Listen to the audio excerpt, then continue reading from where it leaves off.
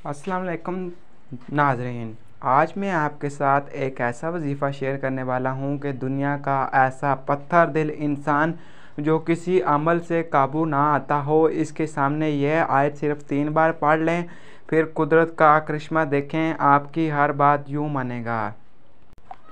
मियाँ बीवी में इख्तलाफ हो, दोस्त के दरमियान इख्तलाफ हो, या कोई भी मसाइल का हल कुरान मजीद में मौजूद है, लेकिन हम कुरान मजीद पढ़ते नहीं हैं। खुदा ताला से दुआ है कि हमको कुरान मजीद पढ़ने वाला बनाए। ये आयत बहुत ज़्यादा फ़ायद है हर जायज़ बात में, सुकून के लिए, इत्मीनान के लिए, दुख व गम दूर करने के लिए, रिजक में इजाफ़े के लिए, प्यार मोहब्बत के लिए, औलाद के लिए, इज़्ज़त और वक़ार के लिए, दुश्मनी आपकी नई किसी के साथ होगी। ये अगर आप आयत पढ़ेंगे। अमल कैसे करना है? आपने सबसे पहले बावज़ू हो जाना है। हर जायत बात के लिए आपका भाई के साथ मसला हो, दोस्त, मियाँ, बीवी, औलाद, नौकरी के लिए और कोई भी बात आपकी नहीं मान रहा हो तो इससे इससे मिलने से पहले आपने ये आयत पढ़ लेनी है।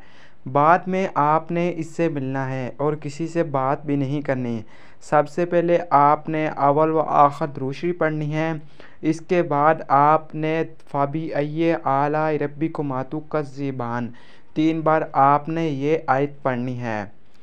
उसके बाद आपने उसके मिलने चले जाना है। मिलने के, जाने के बाद आपने रास्ते में किसी से बात नहीं करनी। अगर वो शख्स दूर है, भाई है या दोस्त है तो आपने अपना उस उसका तस्वर कर कर आपने सौ बार आपने फ़बी आला रब्बी को कज़ीबान पढ़नी है।